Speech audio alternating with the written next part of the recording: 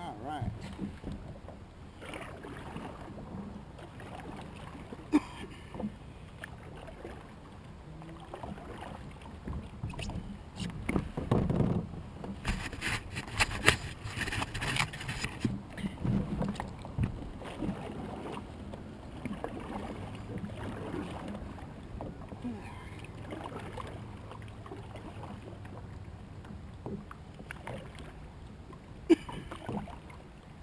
27 mars 2016. Première sortie de l'année.